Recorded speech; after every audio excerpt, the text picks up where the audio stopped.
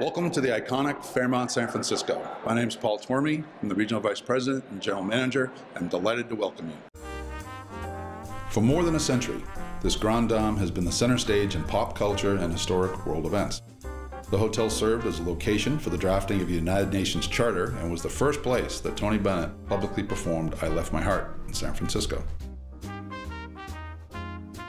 Fairmont San Francisco is also known as the White House of the West having hosted every U.S. president and world leader since opening its doors in 1907. We have also welcomed the who's who of Hollywood throughout our storied history.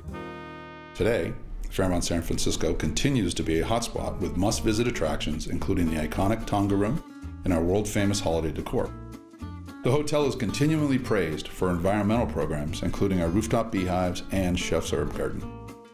The Fairmont San Francisco is located in one of the best neighborhoods of the city here on the top of Nob Hill. We are just a short few steps to the financial district. There's shopping at Union Square. You can take the cable car to the famous Fisherman's Wharf area just a few moments away. Fairmont San Francisco is located at the only spot where each of the city's cable car lines meet. Whether a guest prefers the romantic sophistication of our spacious main building or modern style and jaw-dropping panoramic views of the tower, each of the hotel's spacious guest rooms and suites have been thoughtfully designed and feature the latest in technology. I constantly hear, when you hear San Francisco, you think of the Fairmont. I'm truly proud with how connected this hotel is to the community and the entire Bay Area.